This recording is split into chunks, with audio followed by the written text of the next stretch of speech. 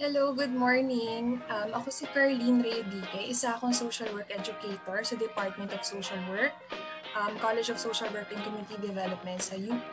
Ako si Mark Tandog, Mark Felix Tandog. Uh, graduate ako ng social work noong 2014. Tapos nag-take din eventually ng social work licensure that year.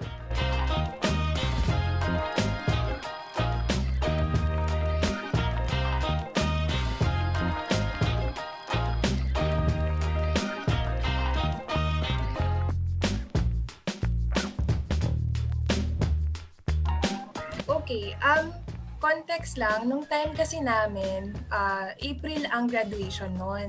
Tapos ang board exam ay June. April 28 kami graduate, so meron na lang kaming one and a half month para mag-review or mag-aral nun. So yung number one preparation na ginawa namin ay una, syempre, nag, uh, take kami ng uh, review classes sa UP. Uh, two weeks yun. And then after that, self-study na siya.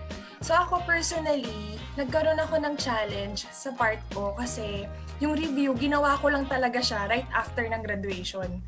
Tapos nung graduate ako, nagpahinga pa ako ng mga one week.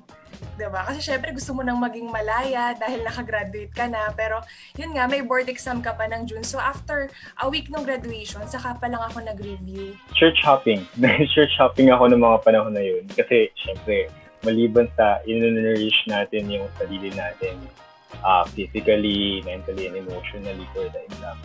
Kailangan realistic. So, spiritually, ganun yung ginagawa ko. I go to church, tapos pupunta ako nun sa Baclaran, sa Quiapo, titirik ng Kandila, and sa ano, sa St. Clair. Sa St. Clair, yung familiar ba kayo doon sa Katipunan? Yung mag-aalay ka ng itlog. Ganyan. Oh. So, nagnovena ako doon no, yung, yung last um, leg ng review, I think mga two months before, hindi na ako nagbasa ng kahit anong hindi related sa social work. Hindi na ako nagbasa ng, ng anything. Although, feeling ko sobrang deprivation yun sa aking sarili. And um, hindi rin na ako nanood ng pelikula. Kasi feeling ko parang mawawala yung focus ko dun sa ano eh, dun sa... Tapos parang feeling ko pag inuga mo ako, may matatapon na. something. So, so, ganun yung mindset ko. Checking out with my friends kasi last minute preparation namin um uh, para kaming Q&A. Uh, what do I know? What do they know? They don't know and vice versa. Kasi the goal naman eh, is keeping the 100% passing rate ng college natin. So, yun, that's pretty much the preparation that I made aside from actually reviewing and attending ating in-house uh, board review.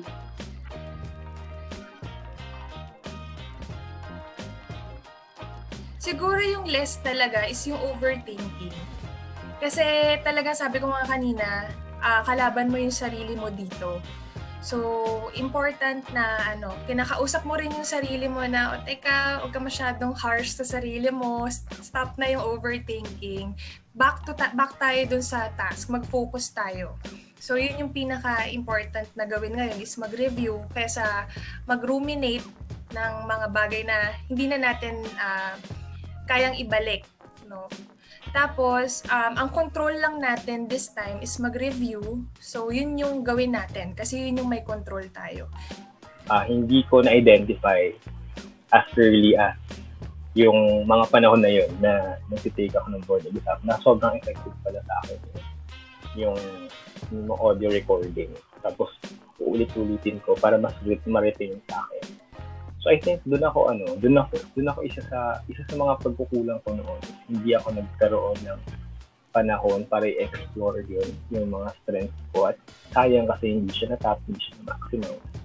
May time siguro na in-enjoy ko muna bago ako nagtrabaho. May, may ganun sigurong time na di kasi parang after graduation parang wala ka nang hinintuan na time na just focus on or in-evaluate ko ba yung sarili ko ano yung next step ko after this. Hindi ako gan hindi ako looking back hindi ako naging ganun. Parang after board trabaho ano kaya laging alam mo yun tapos parang dumating yung point na napagod ako ng sobra. And I I, I realized that hindi kasi hindi kasi ako nag-take ng time din. Tsaka para kilalanin din ko ano yung So after the board exam, ano yung gusto kong ita- itahak sa sarili ko din in I mean, professionally, personally. Interact with other people. Kasi yun nga, uh, hindi ko sinisi opportunity na makipag-interact sa kanila eh. Although, pre-board, sinabihan na kami na na it's useful to interact with other people kasi malay mo, one day or another, ay kailangan mo mag-refer ng case sa kanila or kailangan mo makipag-network sa kanila. And true enough,